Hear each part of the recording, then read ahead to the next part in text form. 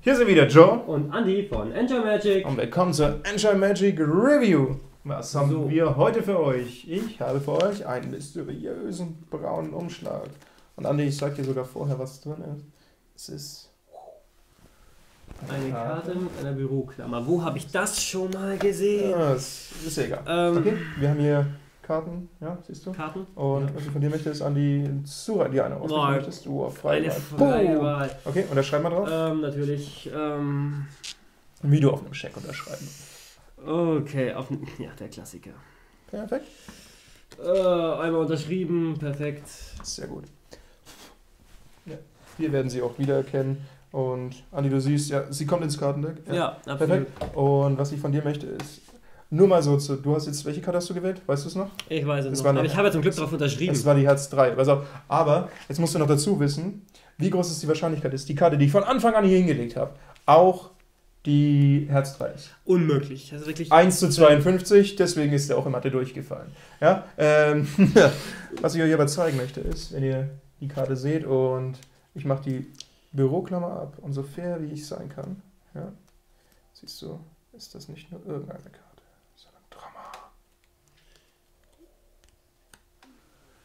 unterschriebene Karte. Nicht schlecht. Wirklich? Okay. Das, ich bin begeistert. das ist Außen, ich will es nicht zu sehr rein. Ja, Vielleicht soll ich es so zeigen, und, was, weil das das heißt, das heißt was? The Only Switch You Need von Mark Calabrese. Ja.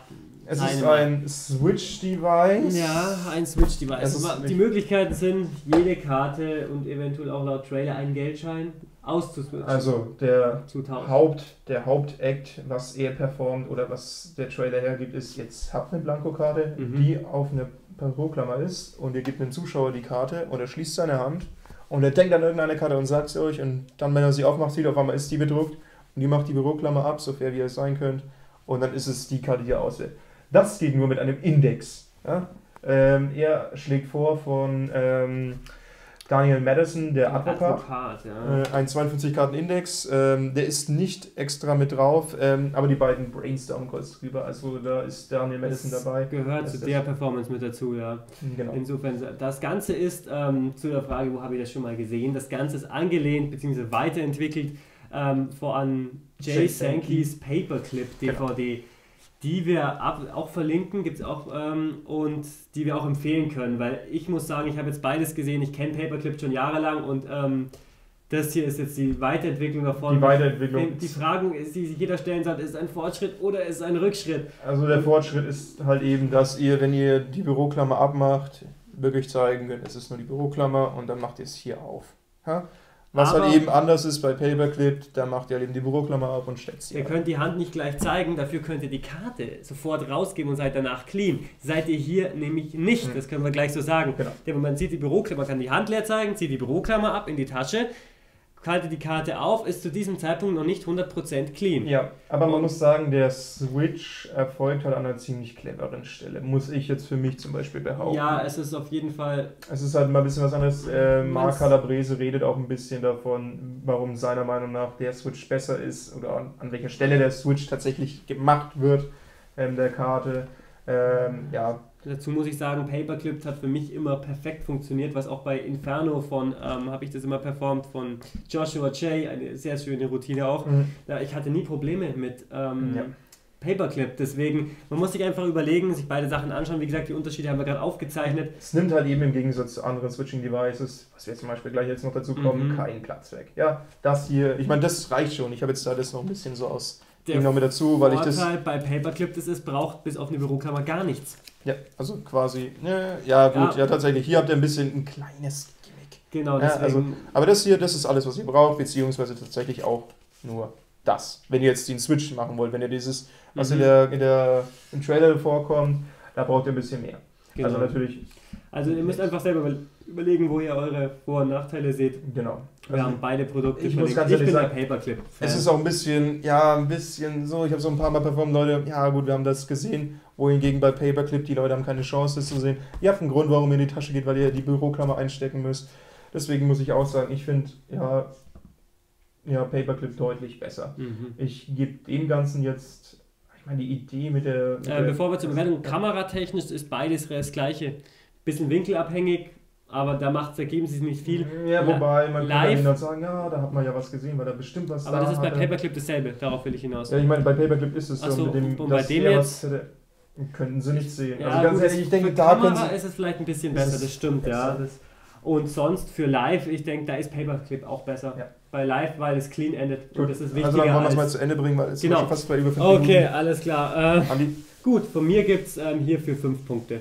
Tatsächlich nur. ich finde es clever, es gibt aber bessere Möglichkeiten. Ihr könnt ja auch ein Glas drüber stellen, dann hättet ihr so eine Art Switchbox. Ähm, ich, es gibt ihm aber drei, ne, vier Punkte. Vier Punkte, weil es ist eine Idee, aber ganz ehrlich, ein Paperclip gefällt mir auch besser. Ja, Und das war's von Osin, also nicht ganz the only Switch you ever need. unsere Meinung. So. so, und wir bleiben auch gleich beim Thema und machen weiter mit Einem Einem Jar. Char. Andi, das erste, was ich Ihnen zeigen möchte, ist das erste, was ich in der ganzen Performance mache. Ich lege eine Karte hier rein und mache den Deckel drauf. Wahnsinn. Gut. So, Okay. bleibt hier, ja. Kann von allen Seiten untersucht werden. Äh, Andi, du musst noch Ich eine nehme Karte. Karte raus. Ähm, Der Freiwahl. darf ich sie sie an. unterschreiben? Unterschreibe sie. Andi, die zweite. Jawohl, perfekt. So, pack sie zurück ins Deck. Ja, Wir machen mal ein bisschen schneller, damit wir von der Zeit her auch, ja, du siehst, ja, wo sie ist. ja ich weiß. Du siehst, bla, Bescheid. bla, Ah, Ähm, die genau. Karte kommt zurück ins Und wir Spiel. spielen ein bisschen rum. Ähm, und Andi, du weißt, ähm, wir können es nochmal machen, mal gucken, ob wir das dazu gelernt haben. Wie groß ist die Wahrscheinlichkeit, dass das auch eine Kreuz-Ass ist? Siehst du aus einem anderen Kartendeck? Ja, ich habe dazu gelernt, also 1,52, aber 1 zu 52. mich Aber wir würde brennend was. interessieren, was für eine Karte da drin Was ist. für eine Karte es ist, dann schauen wir doch mal nach. Denn du weißt ja, das erste, was ich gemacht habe, Mhm. ist in der Performance, ich habe den Crew genommen, habe eine Karte hier reingelegt, habe den Deckel drauf gemacht. Ja? Äh, pass auf, aber ich will die Karte nicht anfassen. Schau bitte nach. Was ist das? Nicht möglich ist das. Es ist nämlich meine Karte. What? Und Das ist der Char von richtig clever. Cosmo, Garrett Thomas und Toka. Ja? Ähm, was ist es? Es ist der Mystery Card Lot. Ja? Es ist quasi eine Tauschbox an, und Münze durch Glas. Genau. Ähm, was ist der Vorteil hiervon? Also erstmal, ihr kriegt ähm, eine DVD, ein Mhm. Glas, Eine Was- coole Box. eine coole Box, na gut, cool. Hm.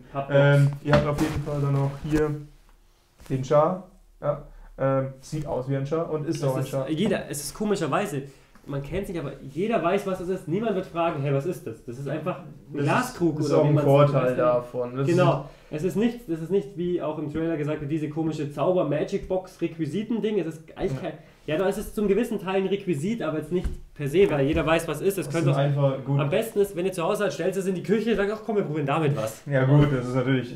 Kommt, aber Ja. ja, könnte man machen. Ähm, es ist, hat Cosmo einfach entwickelt aus dem einfachen Grund, er performt auf der Straße und das hier, ihr könnt um 360 Grad außen rum gucken. Ja, wenn ihr es auch festschraubt, Ja, ihr es auch das stimmt. umdrehen. Das ist ein Vorteil gegenüber anderen ja?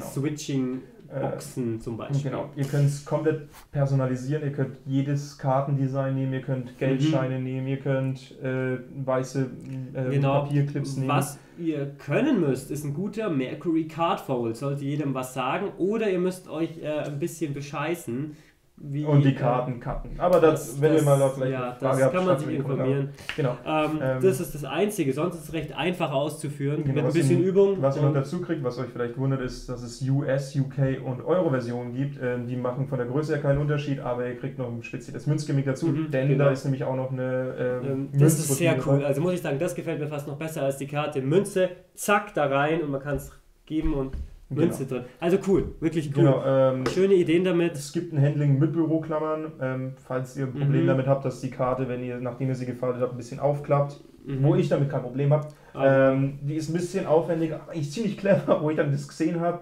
Ähm, Andi kennt es noch nicht, aber ihr Ja. könnt halt eben eine, eine Mercury Card gefoldete Karte auf eine Büroklammer ziemlich schnell drauf machen und dann damit austauschen, was es halt noch ein bisschen unmöglicher macht. Es Mhm. Ähm, genau, ähm, er ist auch günstiger als viele seiner Switch-Brüder. Ja, das Ding, ja, gut. 60 Ah. Euro Ja. ist das, aber die anderen kosten alle ein bisschen Und mehr. wenn man das schon mal auf den Tisch stellt, man hat schon mal ein Interesse, man hat was Interessantes dabei, wenn man Mhm. einfach sagt, hey, hier, Und dass jeder die kennt's. drin ist, also jetzt im Ja, Moment ist es macht- ein bisschen, wir müssen ein bisschen aufpassen, wie wir es zeigen. Es macht was her. Genau. Aber in dem Moment, wo die Karte halt eben drin ist, können alle außen rum gucken. Es ist nicht, die, ge- ja, es ist, es ist schön, es ist clever gelöst, es ist ein schönes ich Switch-Device. finde es gut. Ich habe auch ähm, das schon ein paar Mal performt und die Leute waren echt so, oh, kannst du das nochmal, das gibt's da nicht, weil es Mhm. Cosmo und er macht eigentlich auch ziemlich interessante Sachen zu sein oder er sagt ein bisschen was zu seinen Street Magic Performance, wie er es macht, Ja, was er macht. Es ist eigentlich ganz Mhm. gut. naja, ähm, wir haben es. Ja, es ist schon wie im letzten es ist auch eigentlich nichts anderes als der Effekt, ist der gleich wie bei Paperclip. Ihr tauscht eine Karte aus, es ist halt ein schönes Requisit mit dabei. Mhm. Aber es ist einfach ein Switching-Ding und aber nichts Schönes, wie ich finde. Also, wenn es jemandem gefällt, dann Ja, es. Und in, in meinem Sinn, äh, Bewertung von mir, was geben wir dem? 8 Punkte, absolut. ich würde ihm sogar 8,5 geben, ich finde es ganz gut und es ist, sieht halt eben nach was aus. Genau. Also, das ist The Jar. Und das war's dann auch schon wieder mit der Angel Magic Review. Heute mal ein bisschen mit Switching Devices. Genau. Ihr könnt ja mal sagen, was ihr benutzt oder was euch besser gefällt. Ob es jetzt Außen ist, Paperclip, ein Char oder was ganz anderes, wie von David Penn noch, diese Mystery Card Box, Clarity Card Box von David Regal. Es meine, gibt so viel, es ist wieder so ein ganzes Ding, aber was euch besser wir gefällt. fanden ihn schön. Gut, in diesem Sinne, ähm, schreibt uns in die Kommentare, wie immer, Ja. und bis zur nächsten Woche. In diesem Sinne, bleibt Bleibt magisch. magisch.